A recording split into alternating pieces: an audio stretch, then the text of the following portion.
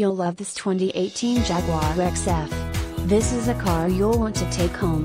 With 10 miles, it features automatic transmission and an exterior color of Farallon Black Premium Metallic. Call us and be the first to open the car door today.